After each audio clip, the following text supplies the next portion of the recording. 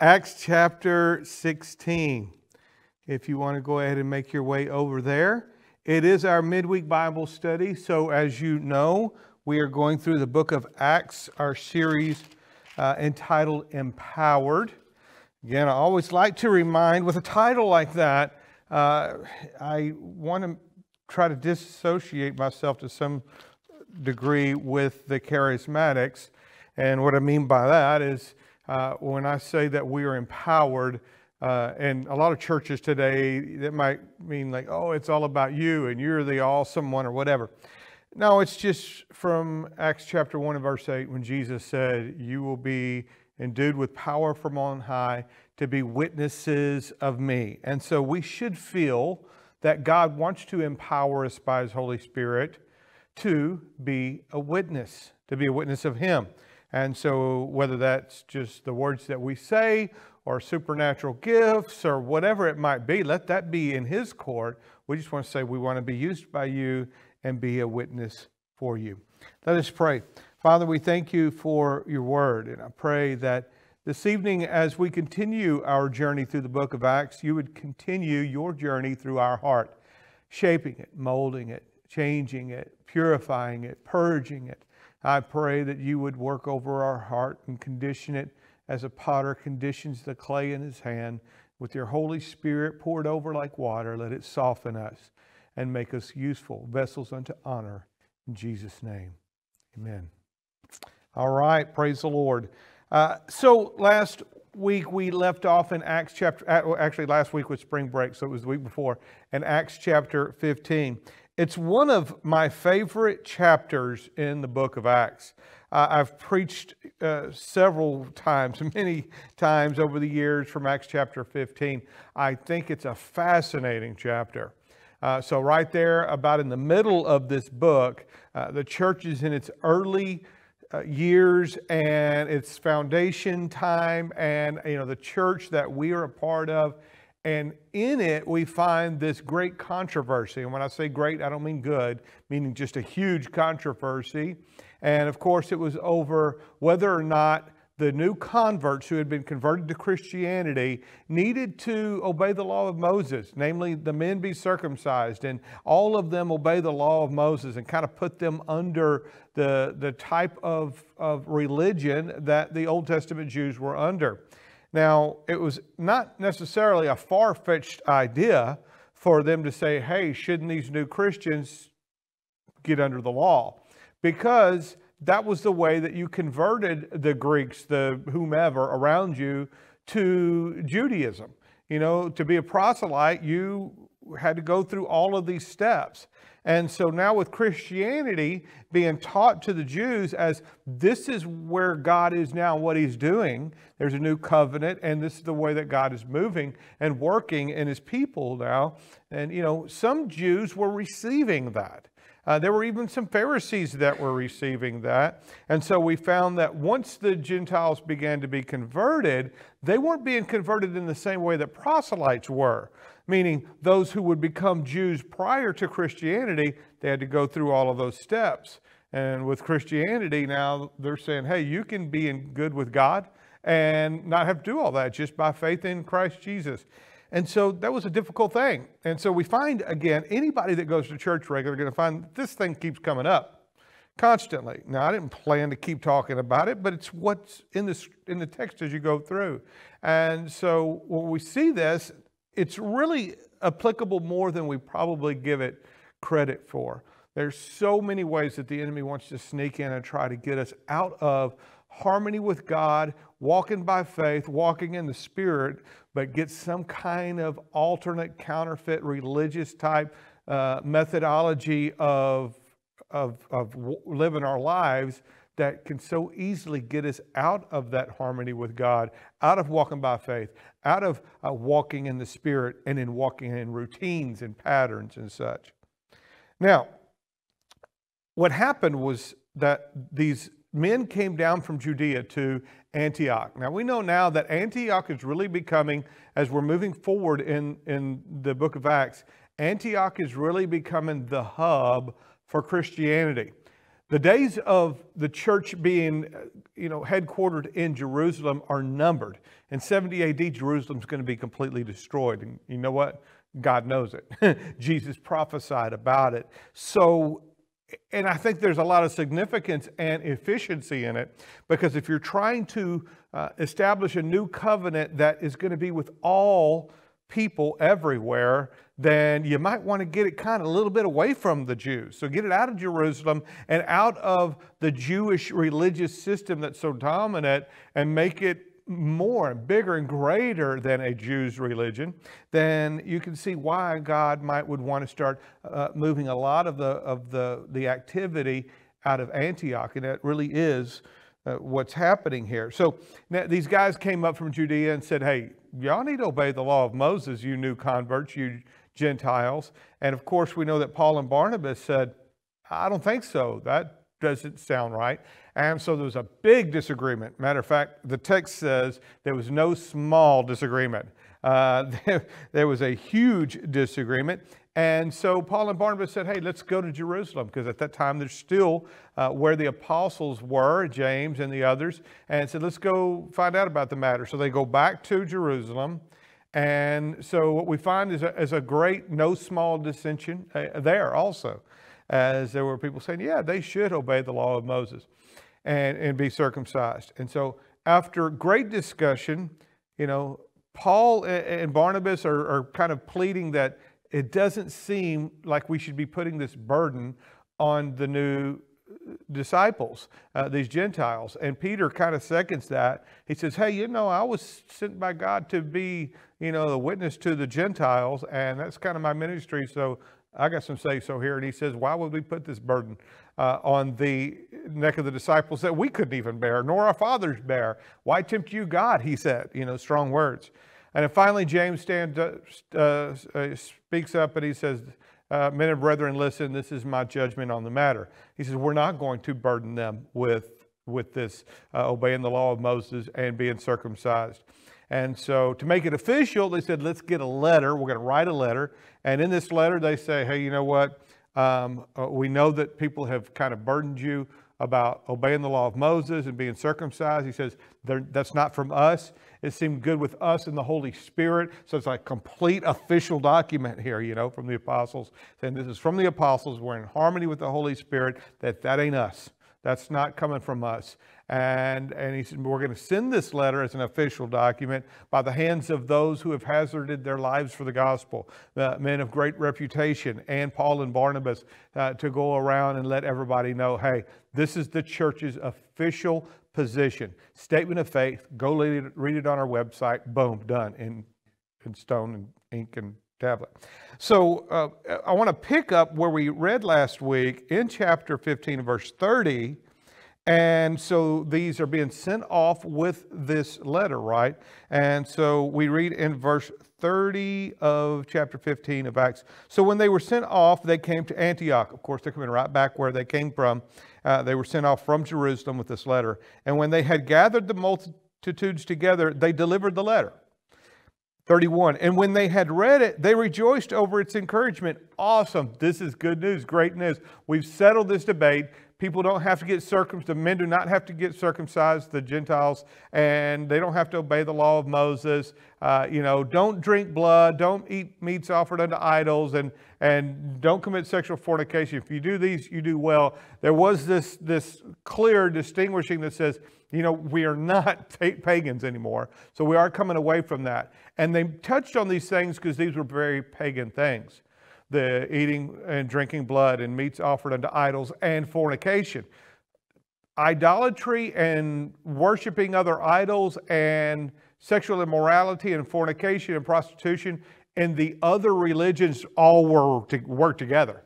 And that's why I said we have no part of that. We're completely different in these pagan religions. That wasn't the end, as Paul would continue and the other apostles would continue to say, hey, don't do this, do this, don't do that. There's, I mean, there is a lot of that, as they're saying, hey, this is what it really should look like to uh, obey the Lord and to uh, walk in love and holiness.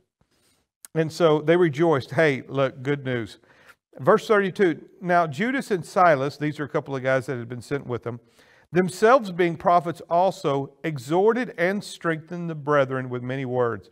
Awesome. Great time happening there in Antioch.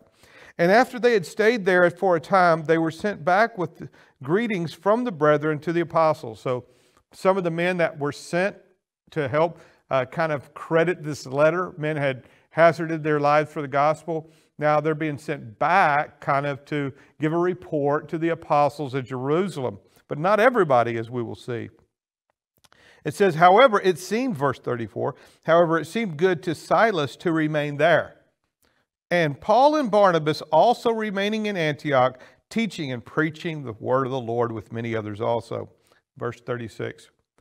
Then after some days, Paul said to Barnabas, Let us now go back and visit our brethren in every city where we have preached the word of the Lord and see how they are doing. Okay, remember, so far there's only been one missionary journey as far as Paul's missionary journey. And, and, and we, and we uh, started following that in Acts chapter 13 and chapter 14. And it was about a two year mission. And, and so uh, we remember how they went on that mission. They kind of went all the way around and it came all the way back. And now it's been a little bit. And Paul is like, hey, Barnabas, let's go back and check on everybody. I mean, it's a good thing to do, right? You know, follow up with people that you've led to the Lord. Follow up with these churches that he had started. It'd be a, a, the, the thing that anybody would do out of love. And it says, uh, now Barnabas, verse 37, now Barnabas was determined to take with them John called Mark. Now, if you go back to Acts chapter 13, you will remember that in their first missionary journey, when they uh, uh, left Antioch and went uh, down to uh, the, the island of uh, Cyprus. Uh, they did some missionary work there on the island of Cyprus, and then whenever they sailed north to continue their mission, it says John Mark, you know, he left them at that point. We don't really get a lot of information right then. It just says that he left them. But now we hear, and as we touched on a couple of weeks, we get insight that there was actually, it was not a, a really good deal. It wasn't just, hey, you know, Paul, or, you know, John Mark saying, hey guys, I got to go do this or whatever. We don't know the details, but evidently it, it didn't go over very well with Paul. Because again, verse 37 now Barnabas was determined to take with them John called Mark. But Paul insisted they should not take with them the one who had departed from them in Pamphylia and had not gone with them to the work. So they left the island of uh, Cyprus, they sailed over to Pamphylia, and then he turns around and goes all the way back. and so evidently, maybe the decision was made on the boat because I remember when we was reading this uh, uh, several weeks ago when we were doing that, it didn't say in the text whether he had left when they were leaving Cyprus or whether they had landed. And I'd forgot that it says this. It was after they landed. So he literally made that ship uh, trip kind of for nothing and just left from there. So maybe it happened on the ship. Um, and so he didn't continue with them. Verse 39 Then the contention became so sharp that they parted from one another. And so Barnabas took Mark and sailed to Cyprus. So uh, this is a this is a, very disturbing thing, and uh, you know, church leaders and the, theologians and scholars have you know disagreed about this for two thousand years uh, on, on what really happened right here as far as who was right and who was wrong. And it's, it's really not even so much the point for me as much as it's a sad, heartbreaking thing that this uh, you know, partnership that came to an end. Now, of course, we know when we read a letter that Paul writes to Timothy, he says, Hey, send me John Mark.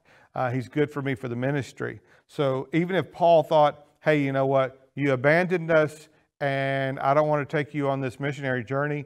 Either Paul was wrong to do that, and later on he got soft, or he just thought, no, he's not ready yet. He's not mature enough. And later on, maybe John Mark had matured to the point where he would be good for the uh, ministry. But evidently, at this point, Paul's like, hey, you've abandoned us, and that's kind of, I still feel like you were there in that place in your life it could happen.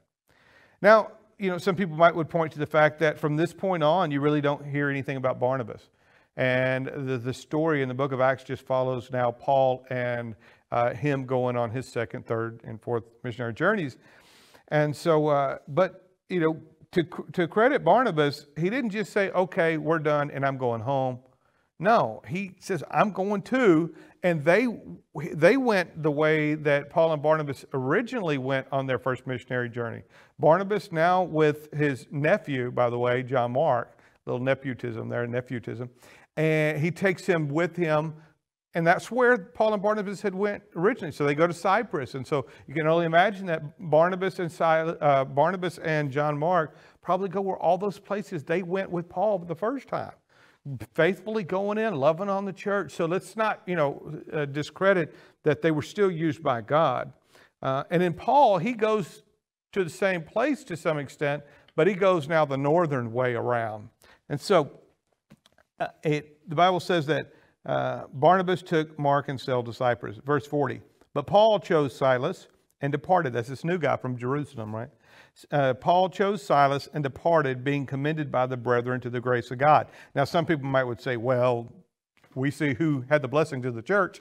Well, it didn't say that they did not commend the other guys, but they definitely did commend uh, uh, Paul and Silas, although some might would conclude that that is a summarization of both, all, both teams commending them by the grace of God. Verse 41 And he went through Syria. Now we're following Paul. He went through Syria and Cilicia, strengthening the churches.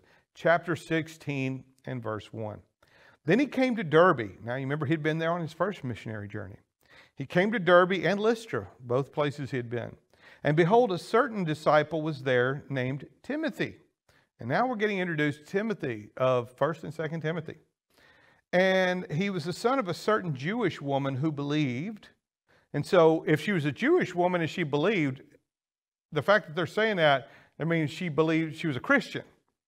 You know, obviously a Jewish woman is a believer, but he's saying a Jewish woman who believed concerning the gospel. And, uh, but his father was Greek.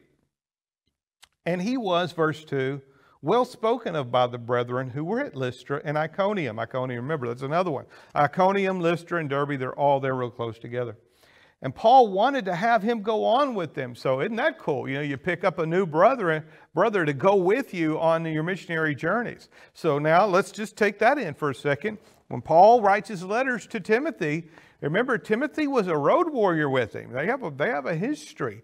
And uh, Timothy had kind of cut his teeth under Paul and, and, and you know, had had some, uh, some miles on him. So uh, Paul wanted to have him go on with him, and he took him and circumcised him because of the Jews who were in that region, for they all knew that his father was Greek. Wow. That is, that is really interesting given all that we just covered in chapter 15. This huge, I mean, Paul was ready to fight to the death to keep Gentiles from having to be circumcised. And what does he do? after he goes down and he shares down with the church of Jerusalem, the church of Jerusalem is like, yeah, you don't have to be circumcised. Boom. Hey, we're going to make a letter about it. Boom. Go pass the letter around. Boom. And what's Paul do? He grabs Timothy and goes circumcising. You know, uh, I have heard some teachers, a, a, friend of mine, in fact, but not, not only him, um, who, who taught that Paul sinned here in circumcising Timothy. Now, I think that it'd be wrong for us to uh, automatically assume that Paul never sinned. I don't think he sinned here at all. Um, some people that don't think he sinned here think maybe he did sin back there with Barnabas and he was being unmerciful or whatever. Let's put it this way let's not make our judgment on the fact that we think Paul never sins. That's not it. He's not Jesus. But I don't believe he sinned here at all. I believe that those that would look at this and say, man, look at all you accomplished. And the first thing you do, you go undo it by circumcising somebody. You just went and made a big deal about not having to circumcise anybody. And, and, and now you're doing it just because some Jews that live in the area. And um, I think we really miss the point if we do it that way. And so, you know, I want to read these next two verses. And he and, and as they went through, verse 4, and I'm going to come back to this, and as they went through the cities, they delivered to them the decrees to keep. What decrees? The letters that said you don't have to be circumcised. Uh, is, is there an inconsistency here? Some people think so. and which were determined by the apostles and elders at Jerusalem. So this is the official letter says you don't have to be circumcised among other things, but you don't have to be circumcised and Paul's carrying that around. So in him there's no conflict obviously. He would be abandoning the letter if he had if he had backslid from thinking that Jews uh, Gentiles don't have to be uh, circumcised. But these are harmonious with him. This is not a compromise one or the other.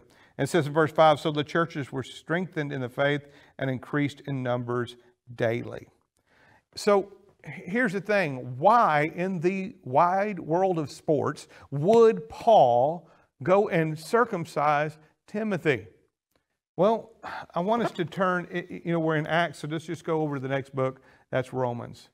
Romans chapter 14. I want us to read something. Romans chapter 14. And we're going to pick up in, in verse 14, Romans chapter 14, verse 14. This is Paul writing again. And this, this is much later. He says this I know and am convinced by the Lord Jesus that there is nothing unclean of itself, but to him who considers anything to be unclean, to him it is unclean. Yet if your brother is grieved because of your food, you are no longer walking in love. Do not destroy with your food the one for whom Christ died. Let's, let's think about this for a moment. You know, I, I was tempted as we've been going through the book of Acts, and the first several chapters, I was just doing, you know, chunks of verses at a time. And I reached a point where we were able to take chapters at a time, which is pretty awesome. And I could have just tried to get all of chapter 16 in. And I, I, although I do like being able to cover a whole chapter in a session, I don't want to compromise and miss anything that's really important and critical. And this is one that I do believe we will take an aside for. I won't cover any more of Acts chapter 16. I might be able to get the rest of it next time, but this right here, before we go any further, why in the world did Paul circumcise Timothy when he believed he didn't have to. Whenever, whenever the, the, the de- decree and the ruling from the churches is that you didn't have to. And we find it in a lot of Paul's writings elsewhere. We also find it in the words of Jesus Christ, and we find it in the Apostle John, is that there's something more at work here than the law and uh, what you should do according to even the decree. You know, because some people could have said, we have the decree right here. It says we don't have to be circumcised. And that's what Paul could have just used. But the thing is, is that legalism is not just going around and saying, I won't do this and I won't do that, I won't do this, and you think of all the thou shalt nots, and I won't do any of them. But legalism is just working the law to your advantage. And so some people are very legalistic, like this decree right here. People wave over and say, We don't have to do certain things. We are under liberty under law, and somehow they have no love towards the brethren. And in that, they pass over loving their brother to stand in their liberty, and that is still legalism.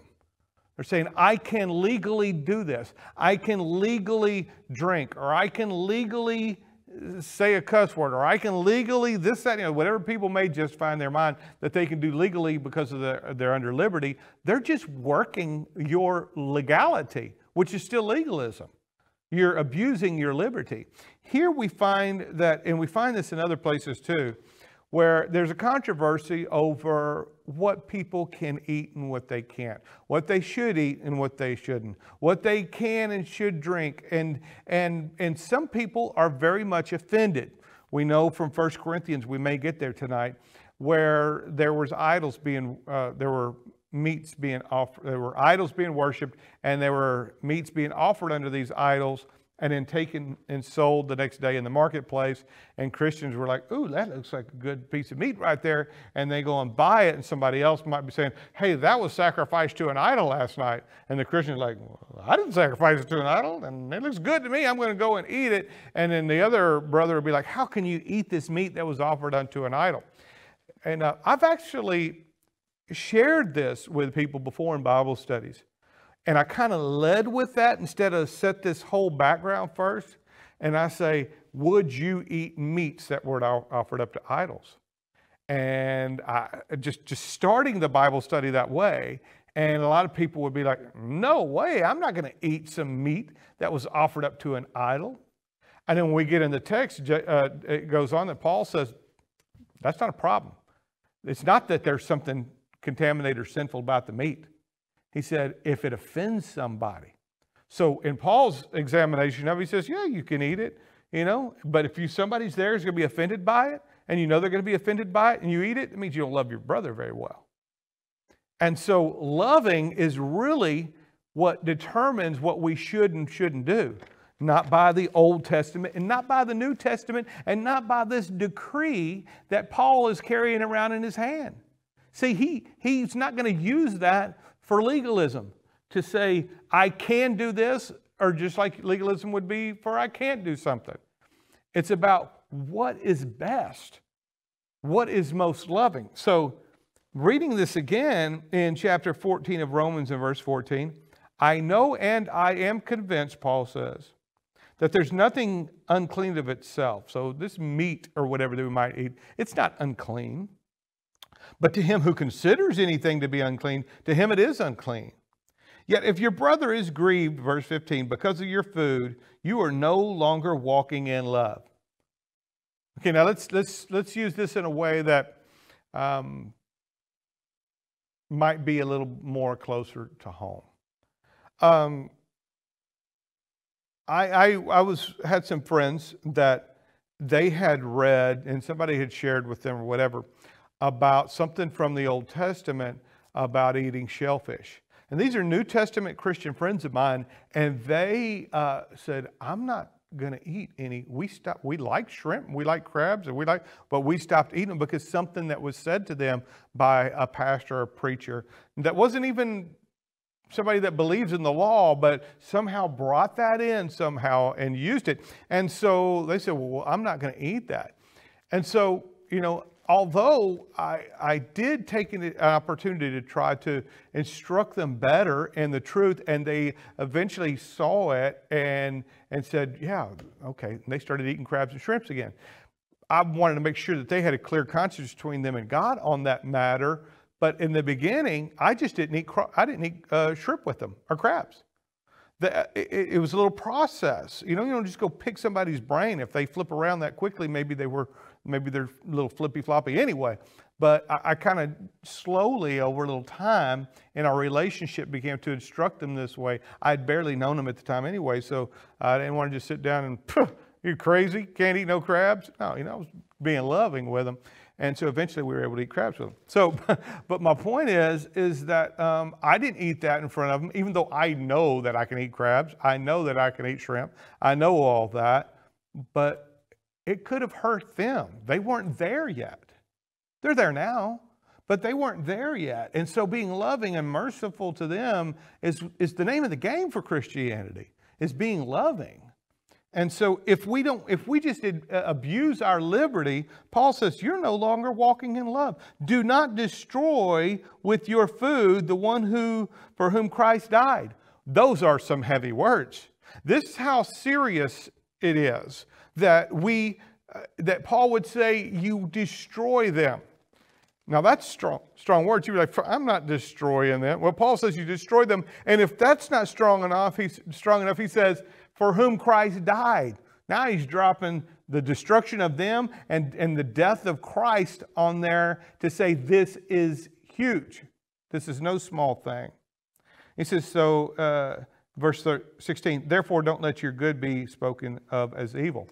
That's another phrase. In context is appropriate that sometimes we do what we do based on is it good for the gospel? Is it good for my brother? Or is it good for me?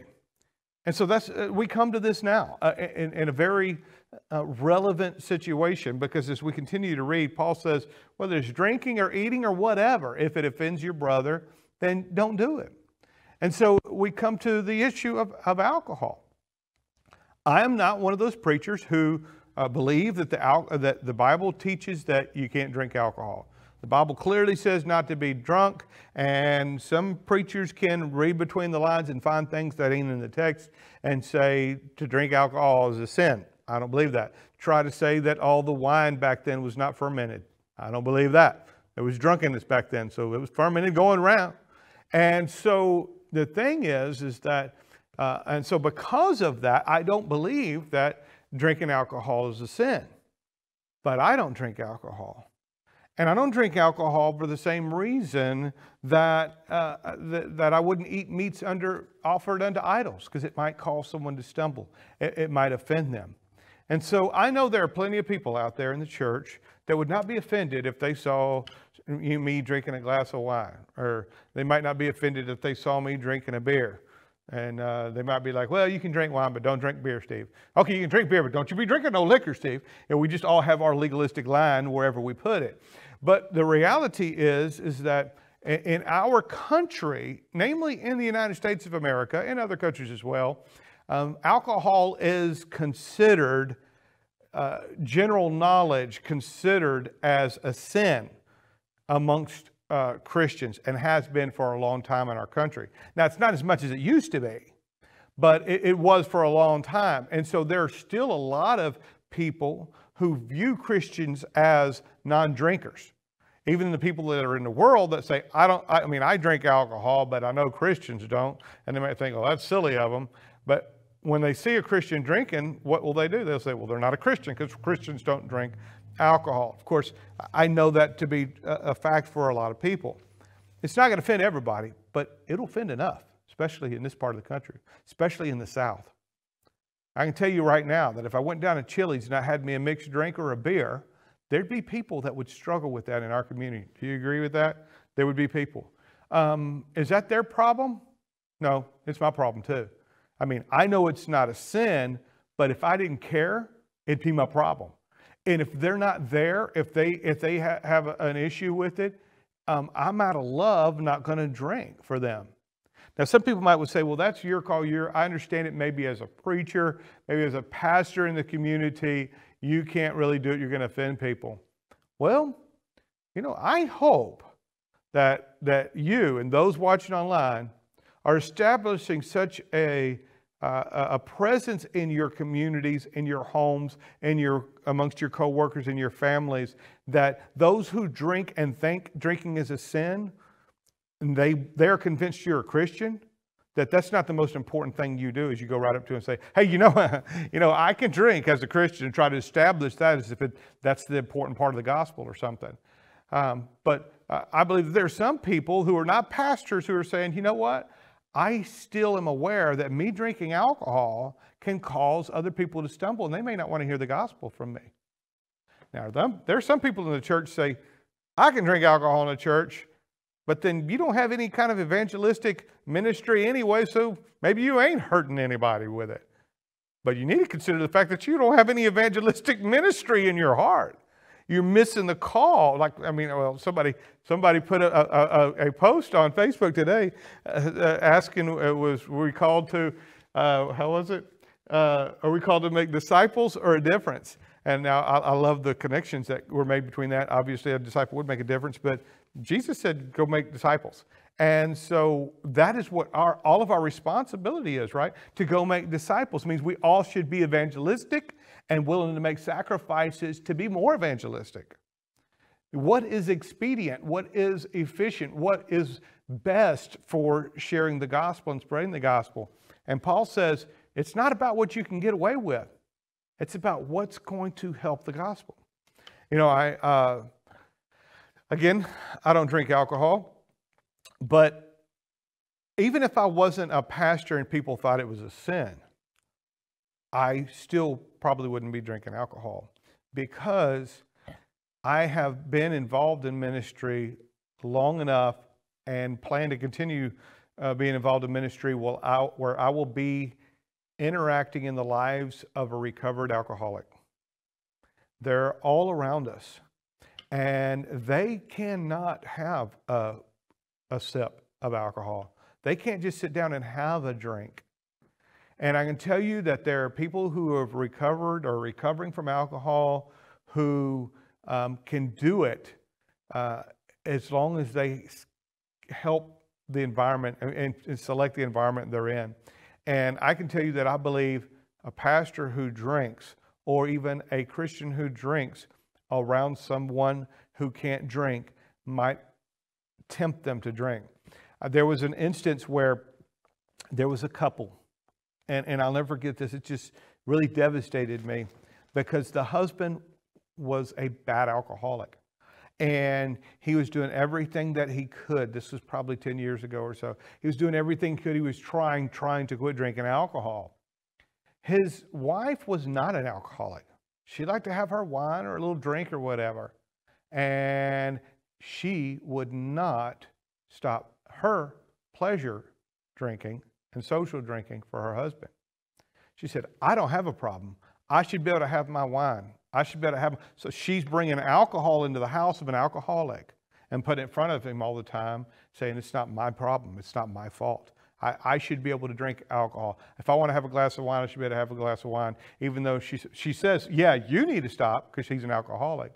But to me, how unloving is that? Where's the sacrifice, right? Where's the sacrifice that she should be willing to make uh, to, to help her husband who's weaker? Yeah, maybe she's stronger than him. She can drink and I'm becoming a drunk, but he can't. And I just, I could not wrap my mind around how unloving that was. And that's very much like what Paul is saying. He's saying, if you love, you will make whatever sacrifices to try to help others walk who might be weaker than you to still to walk. That is what's happening with these Jews that Paul wants to minister to and why he would, he would have Timothy be circumcised because he knows there's going to be so many Jews and they know Timothy's dad's a Gentile. They know now they now know Timothy's running around with Paul and this is all in the area where Timothy's known and he's running around with Paul. And so now he's got this new Jews Christian uh, Christianity, and Paul's going to go along and try to do what he's always been doing and convince the Jews through the scriptures that the Messiah would die on a cross and, and you know convince them of Christianity and they're going to be struggling with this Gentile over here. And uh, and uh, I mean, I it, it's it's a funny thing, but Jews needed to know if a Gentile was circumcised. I don't know how they walked through that, but they needed to know. And maybe they just counted on your honesty about it. But Paul wanted to just make it easier and more efficient to spread the gospel by just you know what you don't need to but it, it can be a real shutting down for them whenever you, as an uncircumcised person, can't come into their house. You can't, I mean, so many things, right, that would cause an issue. And, you know, uh, Paul was like, I have this document, but I'm not going to be legalistic about it. I love the Jews so much that I'm willing to make sacrifices. Now, here's the thing who made the bigger sacrifice? Timothy made the bigger sacrifice, but Timothy loved. He knew he didn't have to. He didn't have to be circumcised, but he loved the brethren, the Jews. He, he, you know, he was half Jew, but he was still, he loved the brethren. He loved the gospel. He loved Jesus so much. He says, if it's going to further the gospel, I mean, you probably could imagine people might have sat down and says, is it going to further the gospel? Is it ain't going to further the gospel? And if, if it's even a chance, I think Timothy's like, let's do it. Let's do it. Now, I might would think that Timothy would say, but we can have a little wine first, right? I don't know. Maybe, maybe he might would be thinking that. Oh, okay, let, let me get back to my place. Romans chapter 14 again. But now we're seeing that that Paul understood, even with this legal document that he had in his hand, he says it's not even about that. It's about love. So, again in chapter 14, he says, verse 17, For the kingdom of God is not eating and drinking, but righteousness and peace and joy in the Holy Spirit. For he who serves Christ in these things is acceptable to God and approved by men. Therefore, let us pursue things which make for peace and things by which one may edify one another. And evidently, Timothy agreed with that, right? He said, let's, let's make what makes for peace and edifies. Do not destroy the work of God. There's that phrase again. Do not destroy the work of God for the sake of food, meaning I can eat this and I can drink that. I can eat meats that's been offered unto idols. And Paul said, Yeah, you can, But if you do it, knowing it hurts somebody who's not really mature as you are, um, you're destroying them. And he continues to say, you're walking in sin. Uh, what wasn't a sin is now a sin. Eating meats offered unto idol is not a sin. Eating it knowing it causes somebody to stumble is a sin. Drinking alcohol is not a sin. Drinking alcohol knowing it can cause somebody to stumble is a sin. It means because you're not walking in love. That is what makes sin and not sin. What makes sin sin is not loving, loving God or loving one another. Again, verse 20 do not destroy the work of God for the sake of food. All things indeed are pure, but it is evil for the man who eats with offense. It is good neither to eat meat or drink wine, nor do anything by which your brother stumbles or is offended or is made weak. I, want us to read one more passage and then we will we will close this out. 1 Corinthians, keep now you just keep go, you just keep going, right? 1 Corinthians chapter 8. So we're just doing Acts, Romans, and 1 Corinthians chapter 8. And this is what we, we talked about and I mentioned earlier, 1 Corinthians chapter 8. Uh, Paul says this a lot in 1 Corinthians. Now, concerning this matter or that matter, he's actually going, and sometimes it says things that you wrote to me about uh, 1 Corinthians, 2 Corinthians, a lot of Paul's writings, he's writing addressing issues that were written to him. We don't have the letters they wrote to him, but we got his responses. He says, Now concerning things offered to idols, Acts, or 1 Corinthians 8 and 1. Now concerning things offered to idols, we know that we all have knowledge. Knowledge puffs up, but love edifies. Okay? There's a contrast here. And what are the two ends of the spectrum? Law, or, or knowledge, excuse me, knowledge and love. And I know what I can do and what I can't do. I know I can drink alcohol. I know I can eat meats offered unto idols. I know I can say this word or that word or watch this and do that. And what there's so much. And I say that because we see Christians nowadays and they engage in things that, yeah, maybe the Bible doesn't say they're wrong, but we know they are offensive. And we see our Christians today that just are just reveling in their liberty, and that's legalism. They're saying it's legal, I can do it, and, it, and it, it's offensive to other people. That's still legalism. Again, let's not limit legalism to just saying, these are the things that I won't do. Abusing the things that you can legally do is still working legalism. So what is the contrast? Knowledge and, and, and love. Verse 2. And if anyone thinks that he knows anything, that's the knowledge, he knows nothing yet as he ought to know. You ain't as knowing as you think you are. He says in verse 3 But if anyone loves, there's the contrast, God, this one is known by him, known by God. Um, who the one who loves. You know, loving is greater than knowledge. There are a lot of people who have knowledge without love. Again, I know I can drink, and I have this great knowledge. I know I can do this or that. I have this great knowledge and lack love for those that are being hindered by that. Therefore, concerning the eating of things offered to idols, we know that an idol is nothing in the world and that there is no other God but one. Again, coming back to this issue that, you know, they would offer meats unto idols, not Christians, but the pagans, you know, the, the, the Greeks. They would offer these meats up to the different idols uh, and uh, Princess Diana or whatever, not Wonder Woman. Uh, uh, but they, and they would, after their, their services and their worshiping was over, uh, the goddess Diana, I guess I should say, they would take that meat down to the marketplace and just sell it. It was perfectly good meat. But again, some Christians might even today be like, I ain't eating that meat. Well, you get poor enough, you'd be like, okay, maybe it's not a sin. I'm going to eat that meat. You know, you get hungry enough, you all of a sudden your religion changes.